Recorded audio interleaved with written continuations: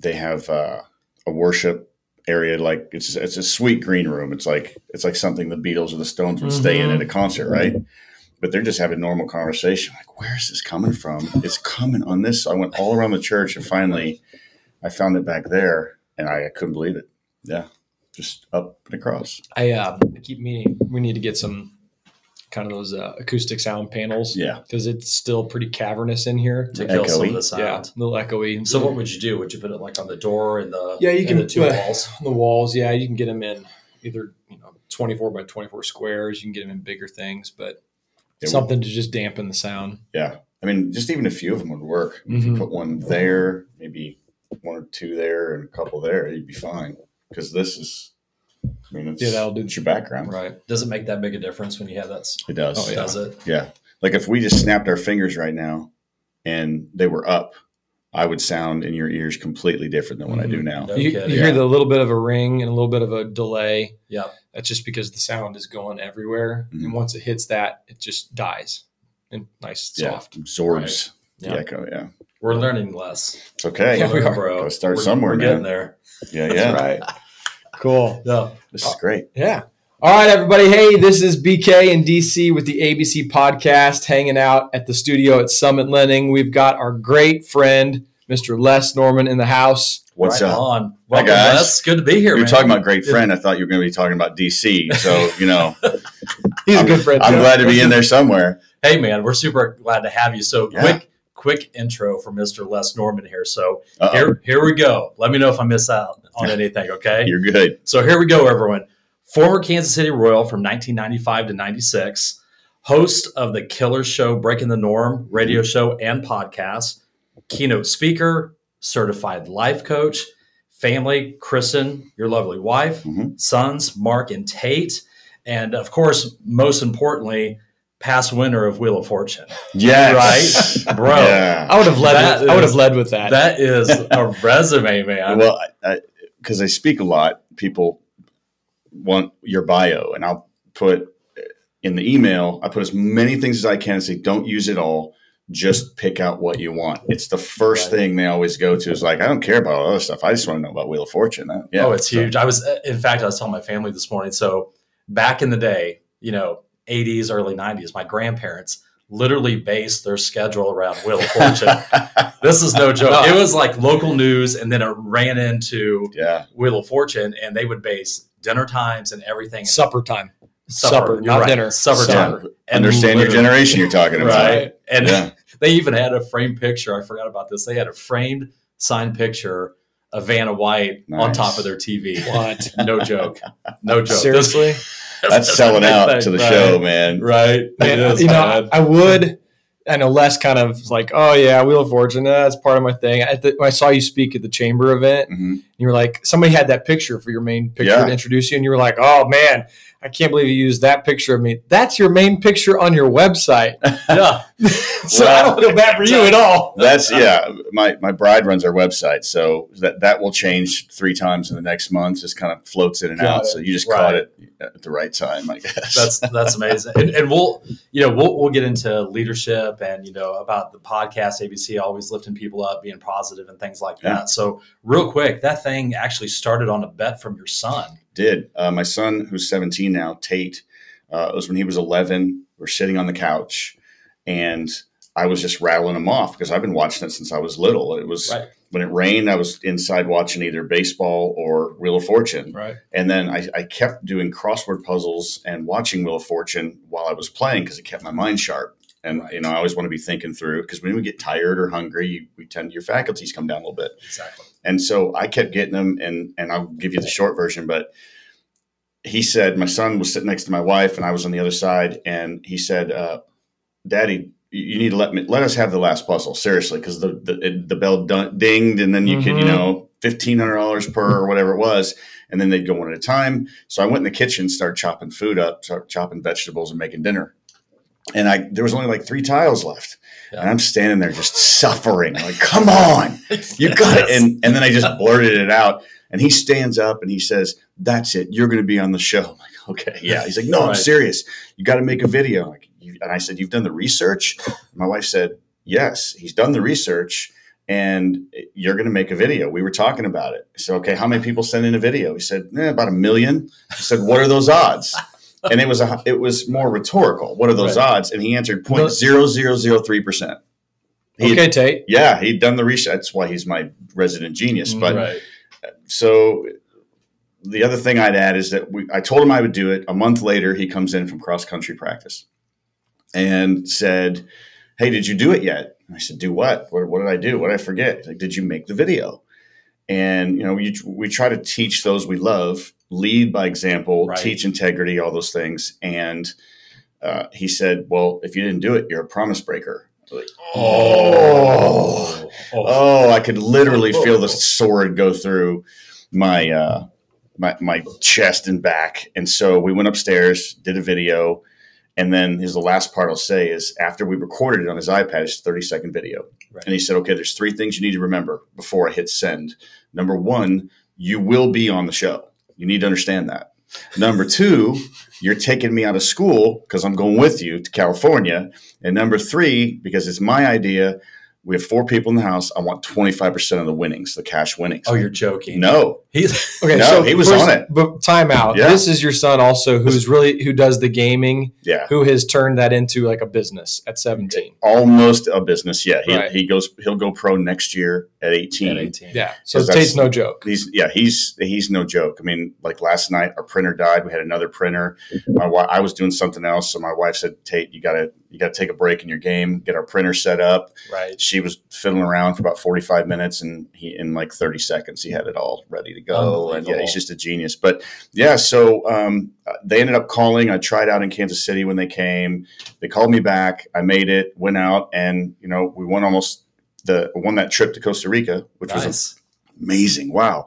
And that was incredible. But uh, t- almost 12 grand in cash. So No I had to put $3,000 in his account. And So straight up, he I- didn't let you forget. oh, no. he? Well, I wouldn't have because I already blew it and told him I'd do it. And then I forgot. right. Because- But that was my doubt. I didn't think he was going to do it. And it's amazing how, whether it's our brides, girlfriends, kids, especially little kids, how much they teach us and how accountable they keep us. And he didn't mean it in any kind of negative thing whatsoever. Like, Daddy, you're a promise breaker. It was a joking thing, Right. but behind it, it's like you decide whether you're going to keep your word or not. Right. of course, he didn't say that. So yeah, I made it. Um, the day I found out I made it, I ran to. Uh, he was had a cross country meet. And he's standing by all his friends, and I didn't. I didn't want to embarrass him, but I'm like, dude, you were you were right. I just got the call. I'm, Right. We're going to California. I'm, I'm going to be on Wheel of Fortune, and he's standing there straight facing me, Right. like. I have friends here. Can we do this later? Right. And so I said, Aren't you excited? And, and then he said, This is a great ending for this. He said, Look, I told you you'd be on. You're taking me out of school. I want the money. And then he stone faced says, And besides, daddy, I believe in you.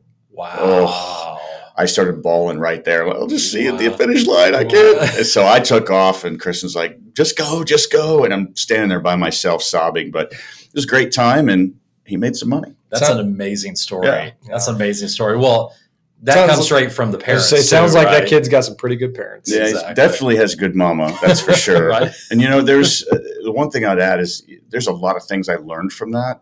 But when I got there, I mean, you get a thousand dollars just for showing up. I mean, if you stink it up and you're, I mean, my first two roles were bankrupt and lose a turn. Okay. And the people, one right and left, one had gotten one, one had gotten the other. I'm like, oh, well, There I we won't tell Here. anybody when this is going to air. Right. Just let it go. yeah. But I remember I was the sixth one they taped that day, the sixth show Wow. and that's because the guy that was on my team drew a number six. So we had to wait all day and watch every episode. We get that seven a.m. and it was like five five fifteen when we recorded. And I remember standing in the bathroom, I'm freaking out, and what are you going to do? Strategy and all this. And finally, I said, "Look, man, this is a once in a lifetime thing. You're panicking over something like this. How about you just relax and enjoy this gift that you have to be able to do that?" Right. And so I ended up having fun because at the beginning I was kind of freaked out, but then I calmed down. And after after that second puzzle, I ran the table the rest of the show, and That's awesome, my son man. made three grand. That's amazing. And I went to Costa That's- Rica with my wife. Well, there's a couple amazing. of lessons in there, but one of them, like when you said to the guy, "Let's just enjoy this for what it is." You know, I'm, this is an opportunity that most people don't get. Yeah, Like you can take that frame of reference and put it into just about anything. you can. Like you know, if I'm stressing out this morning, making sure that our tech is working good for this podcast, Right. and I'm freaking out. I'm waking up extra early to make sure that I get here and everything's going right. First of all, like we're hanging out with our buddy Les. Right. We're doing a podcast with best friends, getting to share some really cool stories with some friends. Like, yeah. chill out. This is fun. Most people don't get to do this. Let's just enjoy it. So I should have called you at three in the morning when And you were Well, 'cause see, wait, that- that's the thing about Bobby and I, and everyone should know. Like, we're we're kind of perfectionists when it comes to certain things. You know, we're on the outside, we seem like we're super chill and you know cool, which we are. But man, we want everything to like work out mm-hmm. great, and we don't want to disappoint anyone, Right. right? So, but in what you guys do, though, you have to be meticulous. You, you got to be Right. right on, and then combine that with really enriching and helping other people in their lives. And so it, it kind of all goes together. But people in life will learn lessons if they humble themselves and be open to learning those lessons. But if you think you know everything and if you think you got Right. it and try to take control of everything, you end up kind of living in empty emptiness or you're anxious a lot or worried a lot. And so that's one of the many things I love about you guys is that you focus on helping other people. You focus on loving people. I mean, I think the last 10 conversations I've had with you guys, at some point we've talked about somebody else. Both of you are like, hey, how are you doing? How's your family? How are things going? To the point where I'm trying to ask you how you guys are, and you keep asking me Right. questions. right. But but I think we both know that's what the world struggles with today is loving other people, and you Yeah, guys sure. do that well, both in your personal lives and in your business, and I really appreciate that. No, we appreciate you, Thank man. you very well, and a lot of it is life lessons. You know, Yeah. we're going to talk a little bit about, you know, maybe some lessons that you learned, you know, come up coming up through the minor leagues. Mhm. Some of the lessons that you learned being a big leaguer, and you know, how did that transcend to being a leader in the outside world? Sure. You know, with uh, speaking and your faith and church and leading others. So there's so much into that. And the thing that Bobby and I always talk about is, you know, everyone has something going on in their lives, Yeah. right? and especially the past couple of years you always need more positivity right you need a foundation to go back to that know that everything's going to be okay Yes. right Yep. so uh, that really helps us get through because no matter what business people are in you know you're going to go through struggles but you have to be around like-minded people right. that are positive that are going to lift you up. So on that day that you're not having your best day you have your buddy bobby that's going to bring you out or if bobby's you know having a down day and vice versa. So that's that's what it's about man. So we really appreciate you you being here. And speaking of which so why don't you touch base a little bit on coming up through the ranks a little bit? Maybe, was there a few lessons learned going through the minor leagues? Because you know we're all athletes you Yes. know bobby and i wish we would have had one day at one inning in a big in a big league A cup of coffee. right exactly fantasy camp doesn't count but i mean what It's was close though. It gets you close though. it gets it gets you It does. close it gets but what was some of the lessons that learning coming up through the minor leagues Great question. Uh, when I first signed, I'd never hit with a wood bat before. And uh, coming out of Wow. college, my junior year, I was drafted by Boston Mhm. and was an, was an All American. And we lost in the championship game of the NAIA World Series, blew a five run lead, by the way, five nothing, and blew it and gave up seven in the last three innings. But uh, it there was a part of me that I'm going to play in the big leagues. I'm going to be rich. I'm going to be famous. And my head was not. I wish I could say my whole life it, it my head was screwed on straight, but I did not have a lot of humility. So the I was drafted in the, the 23rd round by Boston and didn't sign. And, and the original offer was $2,000. I went to summer ball after like, well, I don't for two thousand dollars. I'm a junior. I've got the I've got the power on my side here, Right. and and I didn't have anybody in my life that was my, my dad was gone. Um, I had a stepfather, but him and my mom were doing their own thing, and so it was just try to figure it out on your own. Right. So I didn't sign and went to summer ball and was tearing it up and was winning the triple crown of of summer baseball, the collegiate league in, in Illinois, and they upped it eventually to thirty thousand dollars. But by then, I had so hardened my heart and felt like I was so slighted that said, nope, no thanks. If you come back, don't come back and call me about baseball. We can talk, go to dinner, but don't talk to me about baseball unless you come back with 50 grand instead of 30 grand. oh wow And that's pretty arrogant. That's really arrogant. Right. And you can feel free to agree when you're not. I mean, that's, right I te- try to teach my kids lessons off of those mistakes. And so when I, I signed with the Royals the next year, and and I love that God has a sense of humor because the first amount that Boston gave me was two thousand, upped Right. it to thirty. The only offer I got from Kansas City was two thousand. Oh, yes, wow. and so it was a message right there like, hmm, it's not about the money. It's not about you. So decide what you're going to do. Right. So I signed, I went out, and there were guys like second baseman. There's a guy named, named David Haber, who's our second baseman. And he he's from California. You got these Texas and Florida and Southern United Mhm. States guys that play year round, and I'm from Chicago, so you're getting 40 games in, Right. and some of it's in snow in you know March. Yeah. Right. And I had to learn how to hit with a wood bat because I was trying. If you squeeze it, you guys know this because you hit with wood even in fantasy camp. The harder you swing, the tighter you grip, it deadens the ball. You break bats, and that's not fun. Right. And I was struggling. I was hitting 169. And Tom Poquette was our manager. And I said, Look, I'm playing sparingly. This is not how I thought it was going to work out.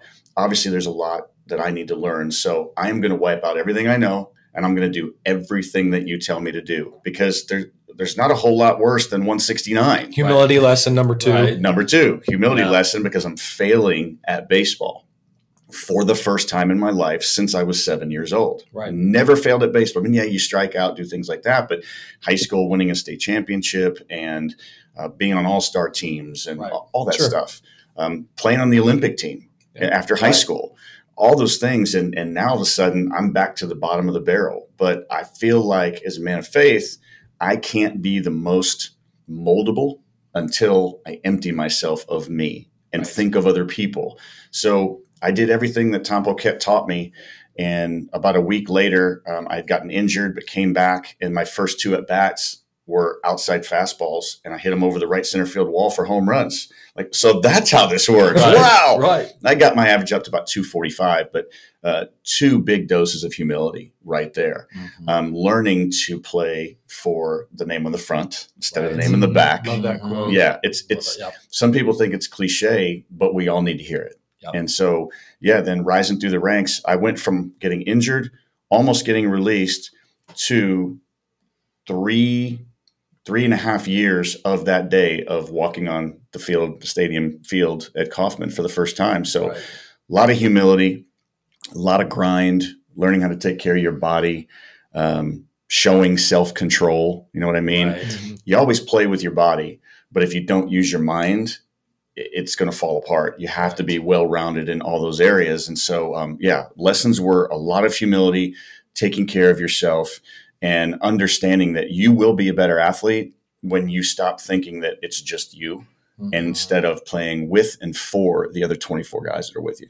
That's an That's- awesome answer. Because wouldn't you agree that you know baseball is such a humbling sport, right? Yes. One minute you're on top of the world, the next minute the ball falls out of your glove, right? Mhm. So don't you think that's pretty common with a lot of young athletes coming through the ranks? Because ever since elementary school, high school, college, all that, they're rock stars, Mhm. right? Yeah. And then they come into the minor leagues, which is And they're- know, and they're roadies. itself, right? And they're roadies, and you do that. That's a big check, and I think that's a lot of those guys who don't make that mental mind shift. That probably the mental part of it keeps them in the minors and not making it to the big show. Right. There are millions of guys, and, and my, my son's older team were a showcase baseball team, and, and this is their junior year, just finished up their junior year. So this is when they're going to get recruited.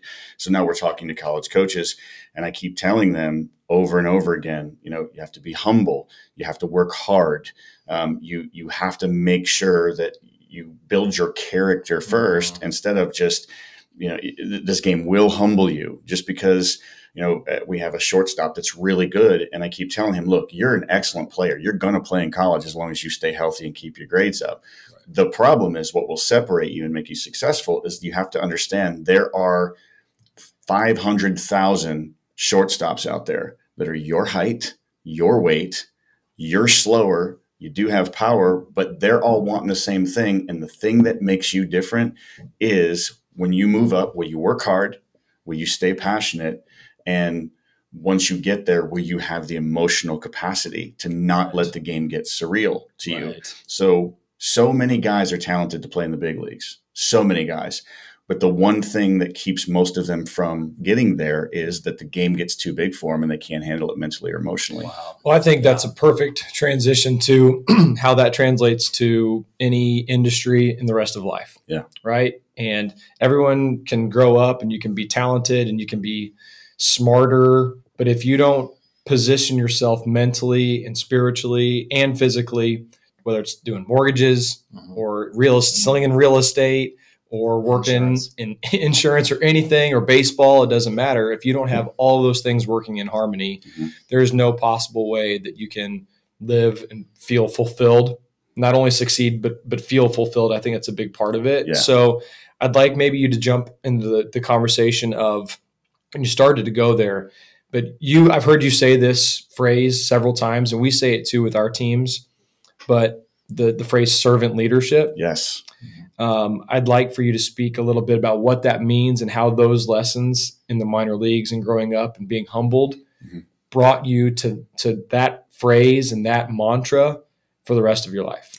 Well, I'll start with this saying servant leadership only comes when you have a change of heart. And we are we're sinful creatures by nature. We're selfish creatures by nature. I mean, we're born in gimme, gimme, gimme, gimme. I mean, my first word wasn't mama, it was no. Right. No, no, no. I so in in servant leadership, a lot of people in this generation think, well, well servant leadership, but this what about me? What am I going to get? What do I'm what am I going to get to do? And and they don't understand that when you serve other people, your relationships are exponentially better. Um, people's lives change. You're able people my wife is so good at this. She's got this amazing discernment that you can say something about your character and who you are. And by the way, side note, if you have to say something good about yourself, chances are you might need to check out from the neck up because it's yeah. Right. If you live your life a certain way, people are going to recognize it, they're going to be affected by it, and that's where the servant leadership part comes in. I can give you a big list on a sheet of paper, and both of you can as well because you've been doing this a while. We can have all these attributes of servant leadership on a piece of paper. We can get in front of people and we can read the list, and you're supposed to do this that's great. Giving people the information is only a microcosm of mm-hmm. what they need. Right. So people need to see you living out. When you say it, that's great, but that's only the first half of the equation. The second half is does he or she live Live that out? They have to be able to live it out. And so whatever arena people are in, whatever their profession, there's dads, there's moms, there's brothers, there's sisters, leading is a big calling. But servant leading isn't about giving up your rights. It's just about caring and listening and loving other people. And then you have to tie the bow around that of living your life based on how you speak. Because if the two don't match up, then people eventually aren't going to give you the time of day. Right. Yeah, it makes me think about lots of companies, lots of you walk into an office and you see motivational things. You know, or like think back to the 80s when everybody had like that golf mural with like a quote of like if you, you miss the shots, you know, like the Wayne Gretzky Yeah, quote. that's right. Right. Miss Anyone can 100% have of the shots you don't right, take. exactly. A- anybody can have those those quotes up on their wall, or we can have core values and mm-hmm. everything around around our office. Right. But if we don't live those core values every single day, and in fact, if we don't live through those core values with every single conversation, Right. with every single person that walks through this door, team members, guests, you know, borrowers, clients, Right. then we're liars, you know, and, and Right. we're, we're fake. Well, and like we say, everyone's always watching. That's right. You know, I remember when I became a parent the first time, people were telling me Mm. they will always be watching you Mhm. and they don't miss anything. That's right. And it's the same thing. I don't care what type of business that you're in, but like for us, you know, what we've done a very good job of is, you know, as you, you know, we took you through a tour of the office and you see all of our different sayings, the ABCs and the TNTs, it takes no talent, but the people that we are think we're servants to are always watching us. That's right. So when we lay a certain, you know, level of this is what we expect and everything like that, if we have someone on the team that doesn't meet those expectations, and if we don't address that, or if we Mhm. just let it slide, you have the the rest of the group that's looking at that and is like, oh, they really don't mean that though, do they? Yeah. Right. So we've had some tough conversations, but again, that's a reason why you know over the years we've been successful is because you set those expectations but like you said les you have to live those out You do. And it's a, isn't it a lot easier, gentlemen, to to live free instead of being fake? oh my You gosh know I mean, the lie after the lie. I mean, you you if you live that way where you you don't live it out, but you talk it, talk it, talk it, you yourself, the very core of who you are, gets buried in all the fake and the lies and the smoke screen you're putting up there. And, and I call it the perfect masquerade. You know, you're Mhm. trying to be this perfect person, but but again, if you're not living it out, not serving other people, that's a tough life because more and more you get anxious. It's Right. it's an old Judge Judy saying, don't lie because then you don't have to worry about what you forgot. Right. So Oh God. It's yeah, true. it's it, it is so true. So they are watching, Yep. and some people will think, "Oh, that's I never asked for that." Well, if you became a father, like you said, you you kind of asked for that, even if you didn't use the words. Right. Um, I'm just proud of the fact that I have a 20, almost 21 year old son and a 17 year old son, and they both call me daddy still. They don't say dad, they don't say yo, you know, hey, old man. Even though they probably think it sometimes, but right. to be able to call me that and my wife and I talk about this a lot because we've always been open with them and shown them grace, consequences, but with grace. But the idea has been to lead them. I can tell them all I want, but they're at the age now that they're they understand Yeah. and they won't follow the things that I teach them if my life doesn't match what I say. Right. So yeah, it's super important in life, in business, in friendships, in everything. That's a that's a perfect transition to what you do with breaking the norm and what you do with some of your coaching. So you take some of those lessons. I imagine we'd like you to speak that with you, what you do with your sons, right? Yes. Um, you know, I watch your your videos on Facebook that you do with your group. Then you lead men. Mhm. Why don't you talk a little bit about, about that Yeah. and what it's meant to you and what it's meant to the the gentlemen in particular? I know you have lots of listeners, females, males, but why don't you speak a little bit about what you do for leading men? Sure. The Breaking the Norm show was just born out of 12 years, it's been, gosh, 12 years already. But 12 years ago, I was just listening to radio, just listening to sports radio.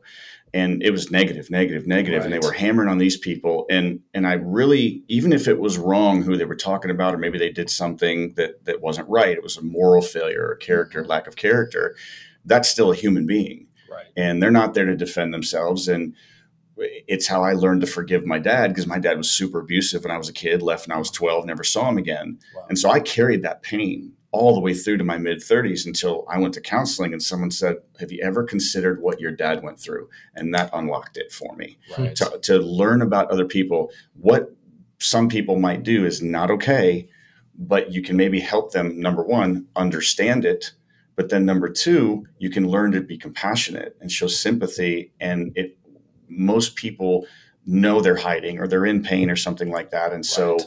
um, i used a lot of those father wounds to lead men because there are so many of us Mhm. out there that have wounds but you know we're big we're tough we're athletes Right. we're professionals in business down, right? Oh yeah. Well, Yeah. people don't need to see my junk. They're not interested, and I'm tough, and I can handle it.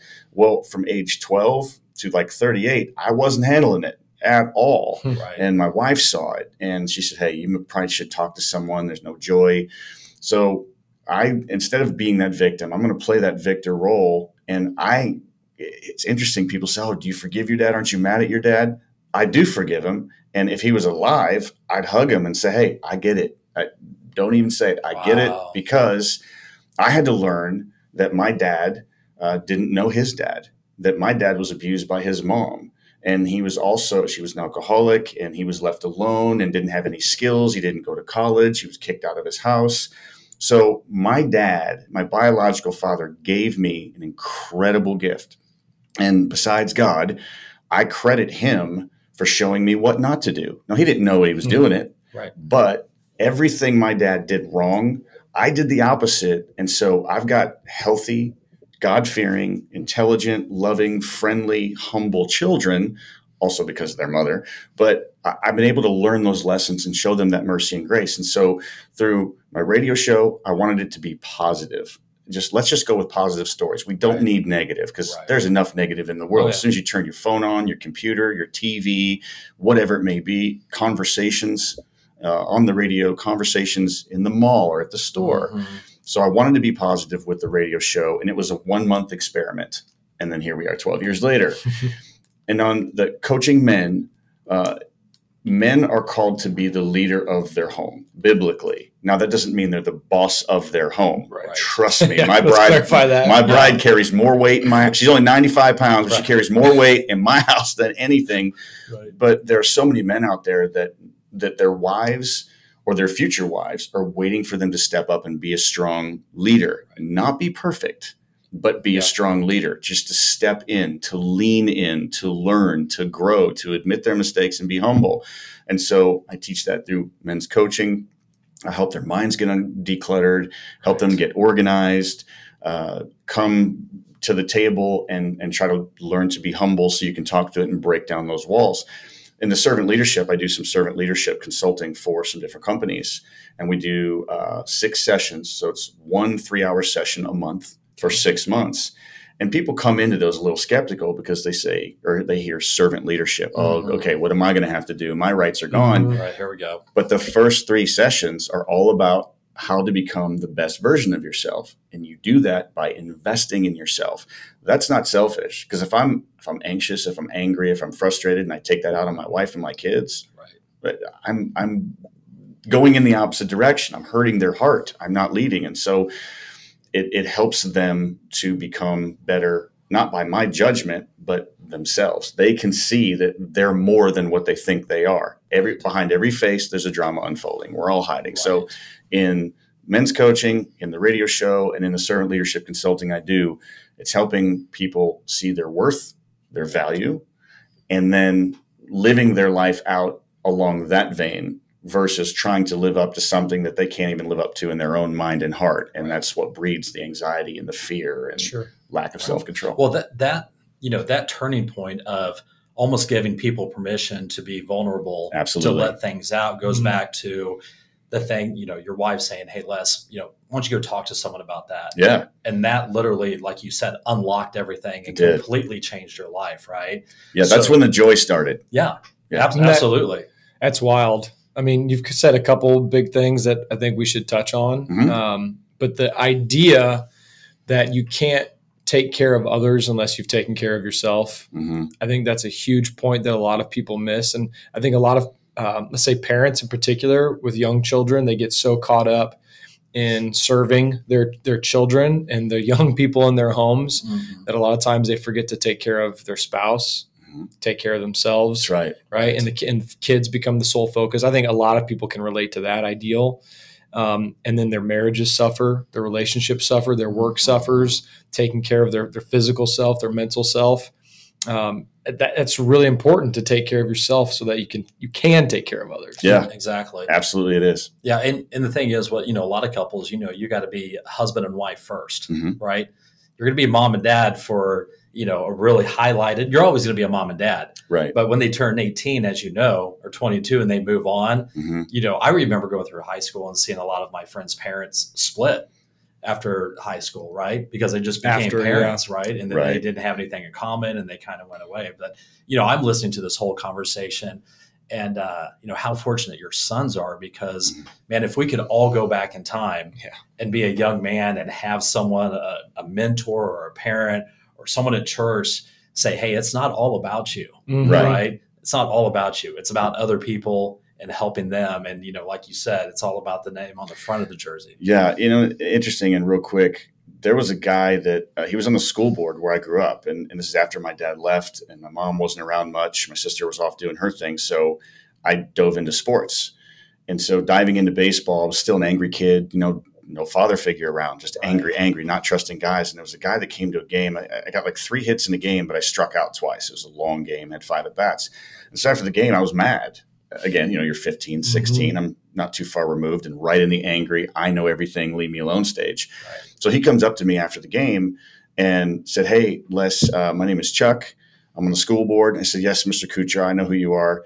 Uh, and he said, Hey, I want you to know you had a great game. Like, did you not see the two strikeouts? And so I wanted to assume on him that I had a bad game. He's like, No, I just, and he had two sons, Right. but he was there watching our game. Right. And a couple times in high school in basketball, he would keep score he would just show up at games. But I, and I knew both of his sons. But he always encouraged me with little things, never a conversation or something like that. So fast forward to May 29th of 1995. I get called up and the the next night we're at home in Kansas City. I joined him on the road in Milwaukee, but the next night we came to Kansas City. So in the seventh inning, I went into left field at Kauffman as a defensive replacement. And in the mid 90s, we were kind of like things are going now, probably a little bit worse.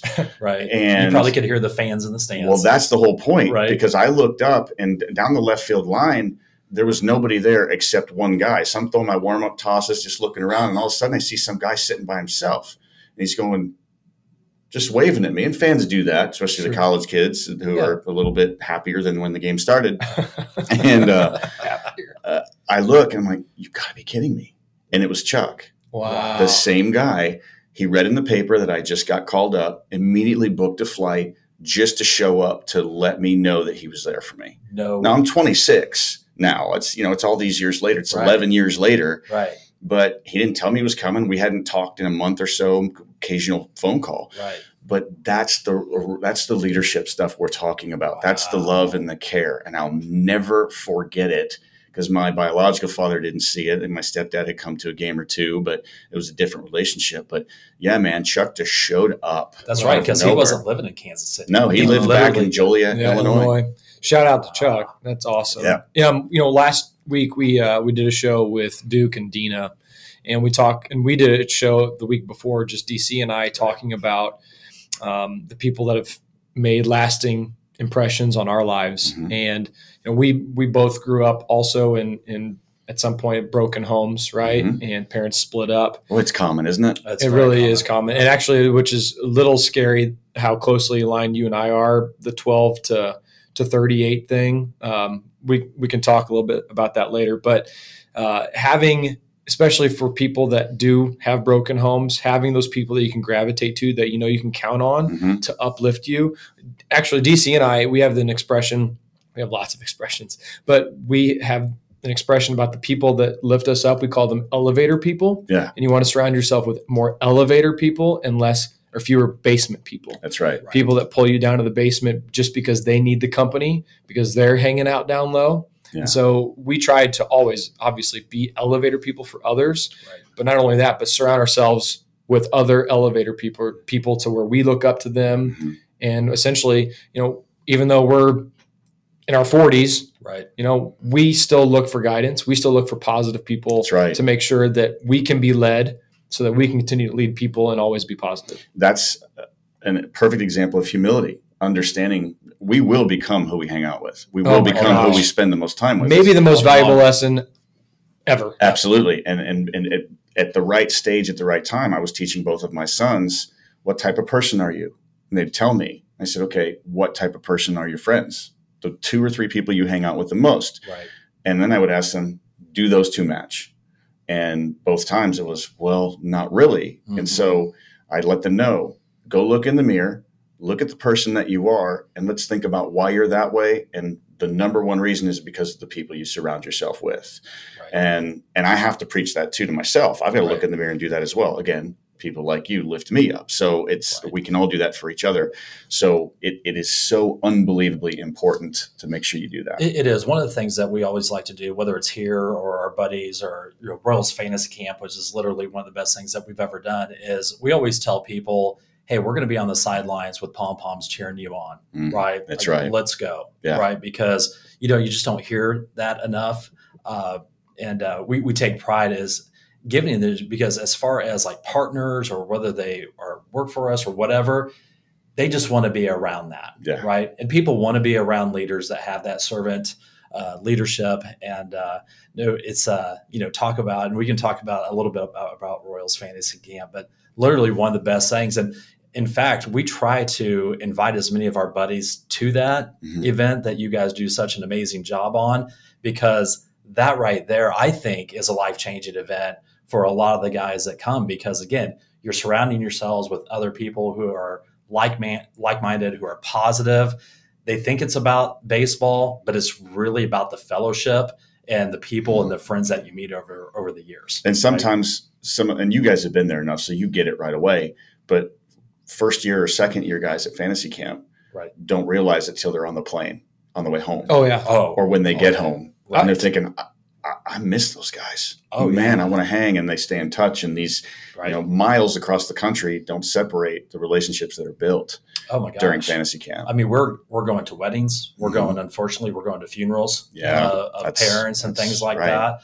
Um, in fact, this is probably a good uh, point to show one of my favorite pictures. It was my second year of fantasy camp. This is awesome. Do you know what it is? Um, I, I, I think I'll recognize it when I see it. Right. All right. it. So here we go. This, this is my favorite picture. Oh, make sure you- Yeah, That that's right. outstanding. That I didn't know you had that. I sure do. Second year of fantasy oh, camp. Oh man, that's awesome. Fortunate enough to make a good catch, and Mr. Les Norman comes off the That's field and awesome. jumps, jumps in my arms. But yeah, man, that's hanging downstairs over our bar. Oh man, And my wife, you know, you know, Chili Pepper, who you know, Yeah. she's like, "Oh my gosh, you've got to take that that's is perfect, awesome, Les, dude. I love that. Isn't That's that amazing? Yes, I love that. That's outstanding. I'm glad I didn't break your back. I know, right? It looks like you were leaning back, like I got a running start. Well, I was a few years younger, so You're right. We all- we all to do, were. Yeah. right? Exactly. Yeah, I That's think that's a great point in that, uh, like personally, uh, I'll be honest, complete vulnerable moment. Um, when I got back from camp the first time, first of all, we went from camp straight to the Super Bowl for the Chiefs, right? So there was like an extra three a- days it of, a fun year there. of It elation, was a right? great ten days. Yeah. But getting back and um, like so often do when, when great things end, right? That's when you can re- reflect. Um, but I, I was emotional. I, mean, I was home and I was thinking about, of course, you think about the baseball. And I said this on stage last year. Mhm. I went for the baseball, and then it became about everything else. And baseball, like, literally gets pushed to the bottom of the list.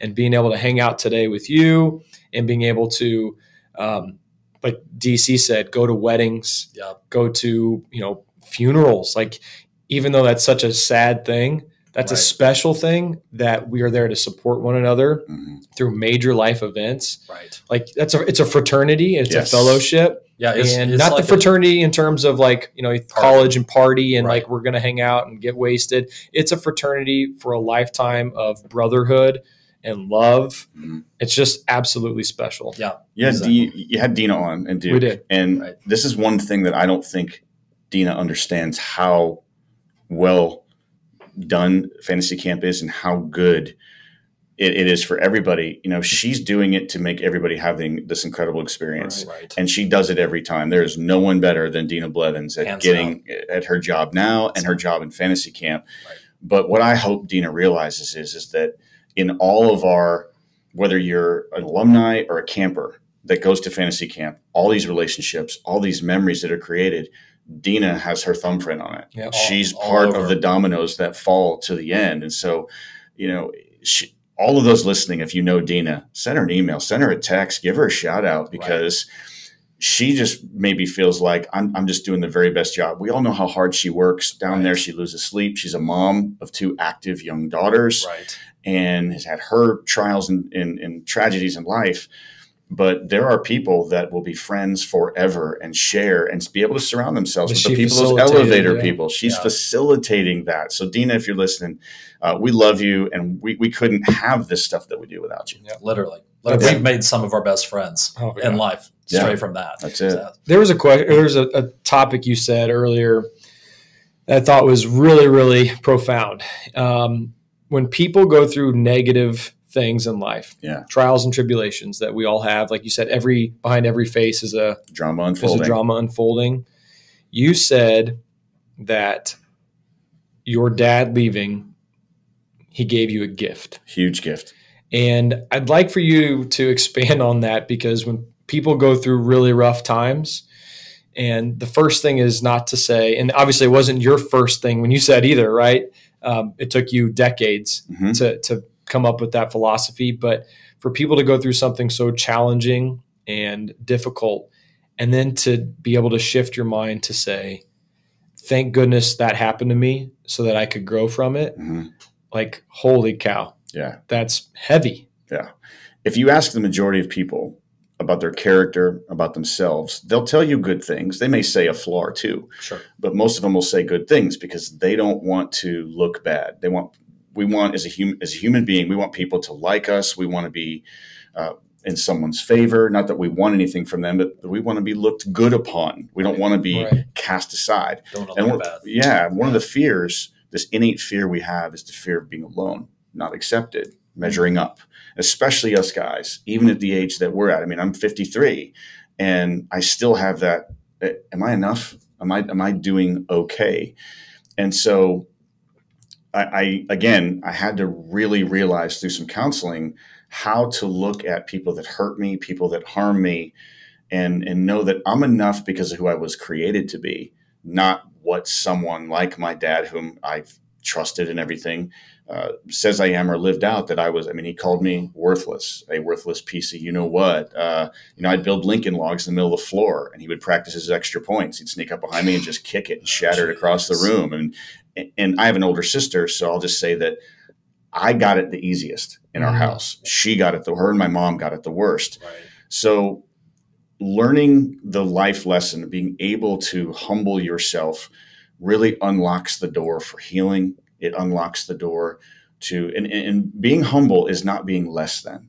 It's not that you're less than somebody else. Being humble is just leaving yourself open and know, hey, I've made mistakes. I fail. People have hurt me, but it doesn't have to end there. It doesn't define who I am. And so, just learning about my dad's background, helping me understand Right. what he had to go through, that he battled life wasn't enough. Once I became aware of that, it became my responsibility to lift up a legacy that he blew.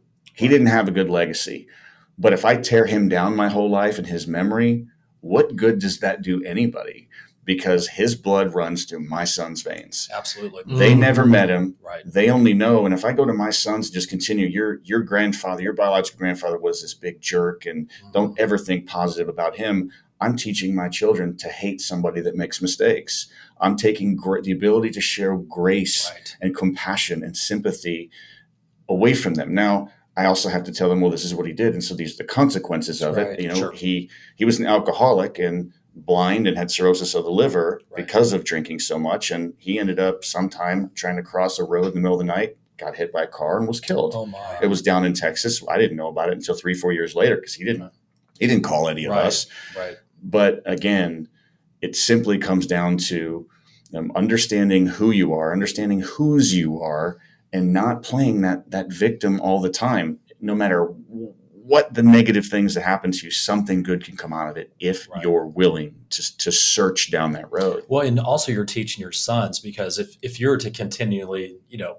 put down your dad, you know, psychologically they're like, well, that's my grandfather and I have the same blood. Yeah. Mhm. So what does that do to me? Am Mhm. I less than now too? Right. Right. Oh, yeah. And and also I'm sure there's some compassion in there, even though he was obviously not a good father, but he never had someone step in to be a role model Right. that could turn that switch for him to stop that probably generational handing down Absolutely. of abuse. Right? That's a great call, DC. Yeah. Right.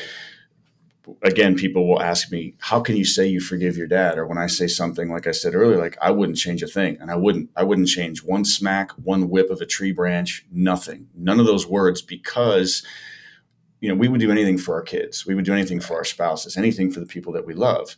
I would do anything for my boys.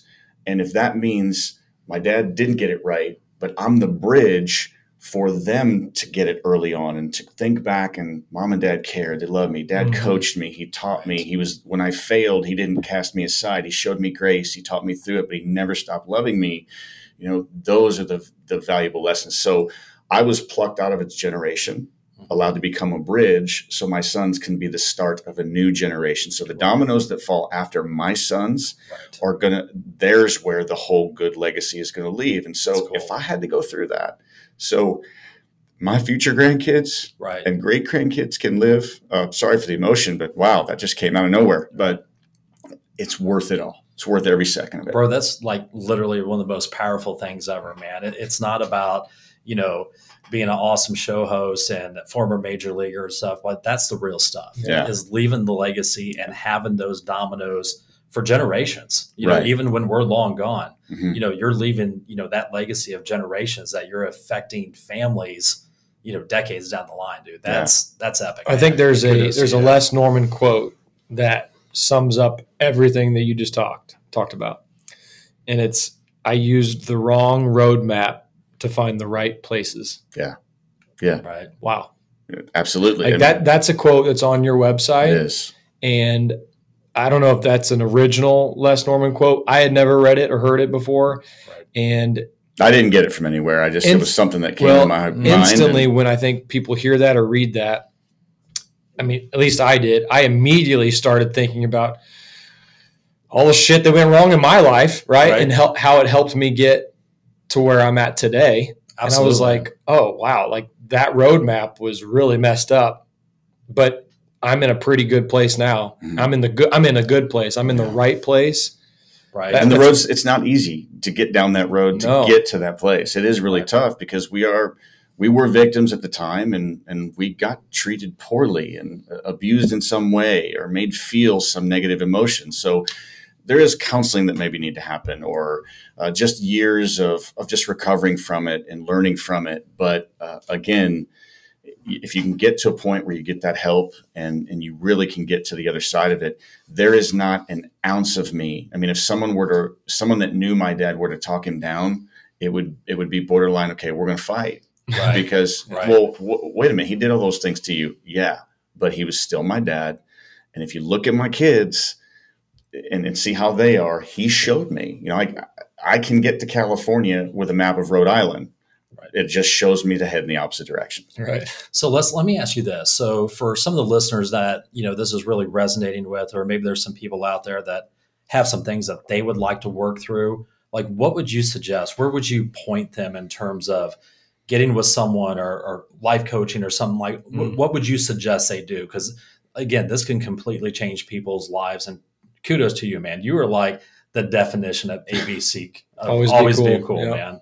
So what what would you say to those folks? Well, we do this exercise. Uh, this all started. Uh, I interviewed a guy on my radio show, and he was one of the original American Gladiators, like way Oh, back. told me this. Yes, Nice. Yeah. and so That's- by the end, one of the questions that I like is is I want I'm trying to make the listeners think about who they are, look past what's in the mirror, and and get inside the brain and get inside the heart and start laying those things like just a deck of cards, one at a time. Lay them out on the table. You don't have to throw all 52 out right away. Get a couple of them, and then the next day get a couple more. And so at the end of the show, I asked him. I said, "When you look in the mirror, not the physical, because he's 6'5", 320, and it's all yokedness." So um, Yoke. yokedness. So I said, when you look in the mirror, what do you see? And this 6'5", 320 pound former superstar started crying on the air. And this is when I was doing these shows live. Right. So we ended the show and I talked to him. And it, it was at that moment that I realized, man, there are people out there that not because I say so, but for their own health and their families and their loved ones' health need to get need to strip that junk down, need to get through the layers. And so one of the things we do in the servant leadership in these businesses is I'll put one of the people, everybody's got to go through it, hmm hand them a box of Kleenex, put them in a chair facing me while all their peers are sitting around them, but they can't look at them. They can only look at me. Right. And I asked them, say, okay, not what you see physically, but when you look in the mirror, what do you see? And every one of them loses it. I've had grown Wow. men start crying before I even asked the question because they've been watching other people. Right. And, they so, anticipate it. and they Yeah. anticipate and they Yeah. go, man, now I got to be vulnerable. But we don't just leave them there. So they'll tell me, they'll break down and they'll strip it and they feel like, oh my gosh, I'm a crying mess and I can't believe I just said all that. And then I turn the chair around and one by one, all the people Mm. around them get to say something to affirm them. Wow. So it's the mirrors and speak life exercise. And it is a 100% success rate because people will seek counseling. That's a success. People will start to listen, not in a arrogant way, but you know, I do have something to offer. I, I do have people that love me. I have Right. elevator people right, here in the office that will lift me Mhm. up. And so, um, in in that coaching, I'm just trying to help these people understand through that exercise that they're going to be okay, that Right. they are valuable, they are worthy, and it's not you are not based on what someone says about you or what someone did to you that hurt you. Even some of those consequences that you might still have to deal with, whether it's financial or Right. emotional or whatever. And then to tie that whole thing up, it's not about what they say. It's not about what happened. It's about who you were created to be. And you have more of a choice to mold that than somebody else and what they say. I think uh, Wow. that- that's awesome. I think the poster that's around our office, the one that's right behind you right now, DC, summarizes Oh, right. that exactly. So Yeah. I noticed that when we came in right there. I'm Yeah. like, yeah, Yes. I love that. That's We've our- got about three of them hanging we around. do. the That's office. our constant Yes. reminder to ourselves, you know, because we're vulnerable Mhm. and um, not everyone is Not everyone's our cheering- champion, yeah, right? Not That's everyone's right. cheering for not us. everyone's cheering for us. And so it's a reminder that sometimes when we feel a little beat up or we don't feel worthy, that, uh, you know, we're strong and, you know, lions don't really care about sheep's opinions. And that's, I know some people don't really like that quote, but if you've got somebody that's trying to tear you down, that's not a supporter. That that's a sheep, and a lion really does not give two thoughts Mhm. about that sheep's opinions. Right. Well, and again, it's protecting who you have in your life, right? Yeah. Have those ele- elevator people around lifting you up all the time. And, so, and DC, you had mentioned something a little while ago too about the whole dynamic of of kids and raising kids. When my kids got to age twelve, that was the magic age that I started to say this. That when they crossed their mother, that okay, now you're not disrespecting your mom, right. you're disrespecting my wife. And so they have to understand that mama came first, and that's another manhood lesson that we've Mhm. learned. And so if they say something and a little sarcastic or snippy, Right. all I need to do is lean in like, really? Like, oh, oh, mom, I'm sorry. That's your Yeah, teammate. Yeah. That's that's your teammate. uh, absolutely. And And you're she's a lot better looking than some of my older teammates too. right. So yeah, it's again, it's just that lesson, like you said, uh, it, DC. It's about um, protecting those that we love that are in our home, and Right. uh, I, I love that quote. Lions do not care Right. about sheep's opinions. Oof, that's so good. I'm That's going to get me one of them. Right. Yes. Hey, you know, we probably can help with that. We might Right. ha- actually, yeah. Right. We'll, we'll look into that. We That's cool. that. Well, why don't we why don't we pivot a little bit? Yeah. And um, we're we're getting close to the end, so why don't we talk about some funny stuff? Like maybe you can share some funny stories, or share a funny story about your time in the bigs, or your time in the minors, or fantasy camp, or just something that evolves, something that always makes you smile when you think about baseball. Right. Yeah, um, the first one I think that comes to mind right away is the day I got called up. I got set up by. You usually there's a little trick that happens, but I got set up by the entire Royals organization, and it was. It Like was you got punked. I got punked. Did you hard? Yes. Really? So we're in. We're in. Yes. Yeah. Let's go. So we're in AAA. We're in Omaha, and Mike Jirschele, the former Royals Yeah. third base coach, was our manager. Oh, nice. And I can't remember who we were playing, but we were. It was like the sixth inning, and we were just laying it to this other team. I mean, I think I had four hits that game. The guy behind me had five hits that game, and it's only the seventh inning, and there's no ten run rule in pro baseball.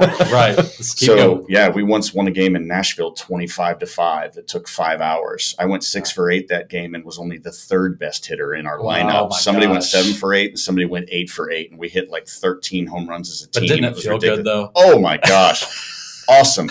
That was Now, so- yeah. Now I've been, I've been, I've been many times. It seems like I'm patting myself in the back there, but I've been on the other side of that Yeah, many times. So you got to enjoy them. Right. So uh, we're in Omaha. There's two outs. I'm leading off first base. And again, we're up by 10, 15 runs. You're not, we're not going to steal. Right. We're wearing these guys out. And so Keith Hughes is up and he lines out, but I just did a secondary lead, two outs. I round second. Guy catches it. Okay, we're out of the inning. So I get to third base and I hand my helmet and my gloves to, to Jersh. I'm playing right field. Hughes playing center or flip flop. I'm in center. Hughes is in right. And I said, Keith, did you see a sign by chance? Because when I got to Jersh, he's like, Did you see the hit and run? I'm like, shut up, dude, in, in a friendly way. I'm like, Right. shut up, man. Come on. We're up like 12, 15 runs. You're not giving no hit and run. You Right. start a brawl. Right. And he had the straight face like he wasn't kidding. I'm like, are you serious? Uh, dude, there's no way. But let's talk about it after the inning. So I go out and I said, Keith, we're playing catch Right. uh, to warm up. I said, Did you get a hit and run sign from Jersh? And he said the same thing I said. We're up 15 runs. It, he didn't give a hit and run sign. Right. So I made a beeline for Jersh after that inning was over. I mean, straight to him, like, Husey said the same thing. You didn't give a hit and run sign. And he said, Husey couldn't find his you know what with a, if he were in a paper bag, he doesn't know. And he was getting mad. And so now I'm getting mad because I know he didn't give the hit and run Right. sign because of the baseball unwritten rules. Sure. Right.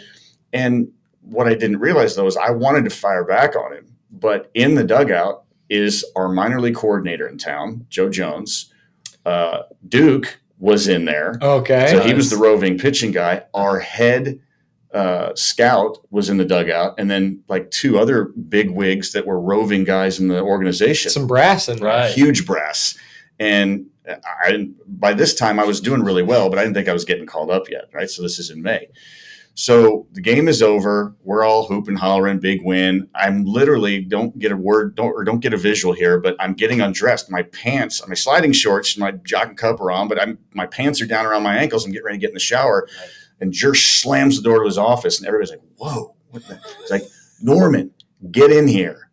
And I'm thinking he's still mad about that. I know he. I'm a. I'm you a- missed the sign. I'm a grown man. I know he didn't do that. Right. And so I come back with this little smart aleck comment like, well, my pants are around my ankles. I mean, can you wait till I get undressed, or do you need me to come in? I mean, I have to shower. What do you need, Skipper? It's like that mouth is going to get you in trouble someday, son. Get in my office right now. And everybody's Oh. looking around like, what in the world's up with that dude? You got to be. And Jersh is loved not like by that, so many. right? He's Yeah. not like that at all. Right. I'm thinking, is he just showing off for the brass, or is he gonna? Is he like worried about getting fired? Whatever. Right. Great. I'm the scapegoat. I don't have any big league time. I've got no bargaining power here, and I'm doing this for like twenty four hundred dollars a month. You got to be kidding me before Right. taxes.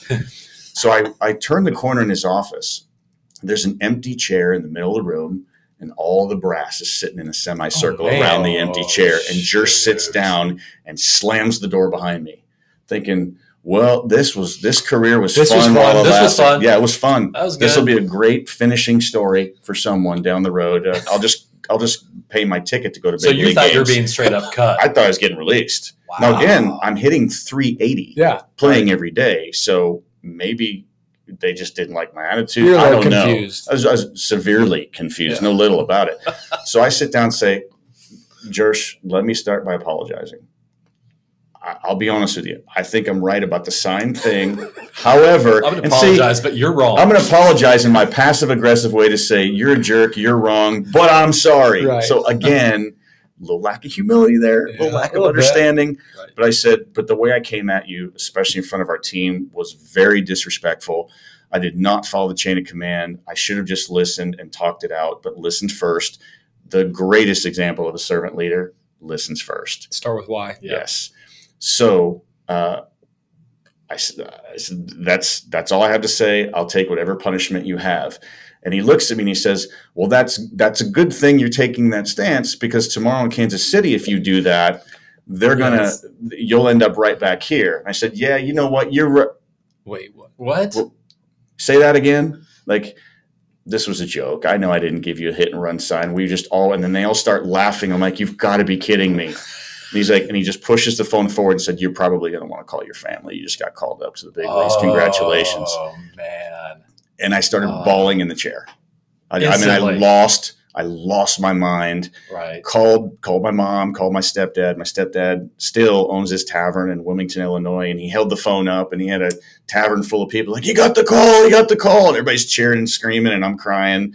And uh, I have to compose myself because you're going back out into a clubhouse where Mm. everybody wants to get called up Right. two or three guys, your closest buddies are happy for you, but everybody else is like, damn. All of a sudden, yeah, that should have been me. Mhm. And then there's a couple people that then will ostracize you for the next 20 Really? minutes because, well, because they're the ones that want to get called up. Not Right. everybody in a clubhouse is Not a everybody's your person. cheerleader. That's Yeah. right. Not Yeah. everybody is. That's some full circle on that lesson. some people are holding Yeah. pom poms, some people are holding pepper spray. So, There you we'll go. add that one. Do to- we do we have Yeah. permission to say yeah, absolutely. that? Yeah. Some people are holding pom poms. pom-poms Yeah, that's why I said it. Some people are holding pom poms, some people are holding pepper spray.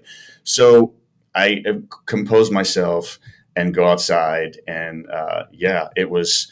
I ended up going to Milwaukee, and which I'm originally from the Chicago area. Mhm.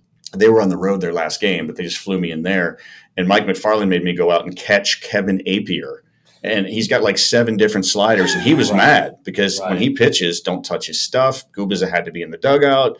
You His know, don't talk to him like OCD routine, not routine. Right. I mean, like if you touch his glove, he will burn it after the game. And then, I mean, he's that kind of like, Wow. leave my stuff and me alone. That's just how he was Wow. and I'm just dropping balls and dropping balls. But I thought they were doing it to, to rag on me. But what they were really doing was they knew that I had 50 people coming to the game just to see me in my first big league Oh, uniform. Okay. My Right. parents were there, my sister was there, my high school coach was there, my college coach, teammates, friends were all up in Milwaukee back at the old stadium before they switched to the County National League. Right. Yeah, yeah. Right. So, yeah, it was an interesting and, and very, very cool story, very Wow. humbling story. But I, I still took away from that, not just the getting called up factor. I took away from that that, dude, you need to be humble at all times. Right. Humility cannot come selectively. So, Right. always learning, man. And yeah, that's just that's just one of many. Um, there was another time I was on the DL sitting in the clubhouse, so the game was going on. Jeff Montgomery comes in, and uh, he had just blown a lead. A rare time that Jeff Montgomery blows a lead, Right. and so he comes in, and the spread table's out, and there's hard plates. He took a plate and didn't see me, and I'm standing. I'm my locker was kind of caddy corner behind this stone pillar, Right. and he whips it. I mean, Monty's a little dude, had a good arm. Oh Yeah, And he threw that frisbee like plate across the room. It hit the wall or hit that stone pillar with such force that a fragment went through my jeans and stuck in my knee. Oh, And I just, kidding. and I'm not, I'm, I'm, I'm a rookie, man. I'm deathly afraid. And I, I just like pull it Pull out it and out. put my finger on it to keep the bleeding down till the game's over. I don't want Monty to feel bad. I mean, Right. like, that was fine. It was just a tiny little scrape. right.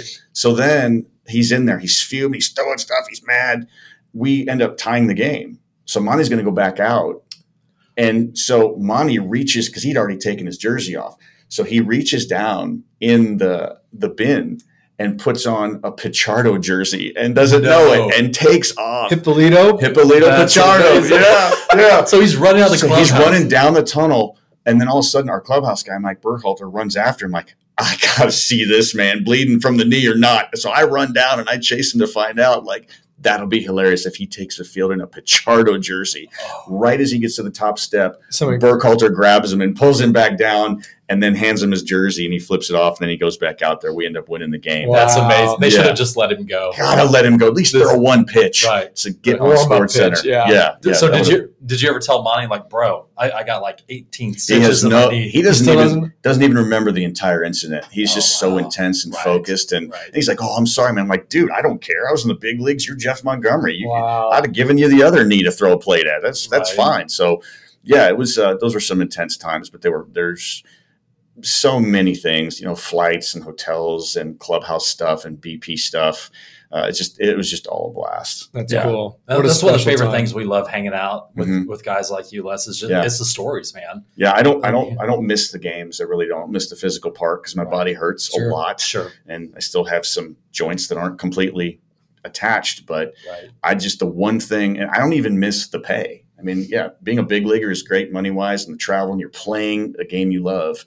I just miss the guys. I miss hanging out. I miss the rain delays in the dugout, sliding on the tarp, playing cards. Wally Joyner beating me three games in a row, ping pong, twenty-one to nothing, all three games. I mean, Oh my gosh. yeah, he It's was like, a freakish it's like good Forrest athlete. Gump of ping pong. He might have beat Forrest Gump. He's that good. Yeah. So yeah, That's it was awesome. just a blast. Well, it's similar That's to like- what we were saying about even at our level with with fantasy camp. Right. Like it's not about the baseball. Like you Yeah. you, you don't Mhm. miss the games. You miss the No. fraternity. You miss playing cards. You miss Mhm. hanging out with your buddies. The It's- conversation from the clubhouse to field six. yeah. Yeah. You know. Yeah, it's exactly Absolutely, right. Walking yeah. up and, and Right. back. So Yeah. Yeah, it's about getting out the car, you know, the next morning after the first day, and everyone's grunting and can hardly get out. And it's just, again, it's not about being sore and uh, and getting out there and you know even striking out or whatever. But Yeah. dude, it's all about talking trash, playing cards, sitting next to Billy Butler, who cussing up a is storm. cussing up a storm, playing cards, and uh, so no, man, it, it's amazing. Yeah, there's one more thing about fantasy camp, Cope, that I want you to understand too. Is um,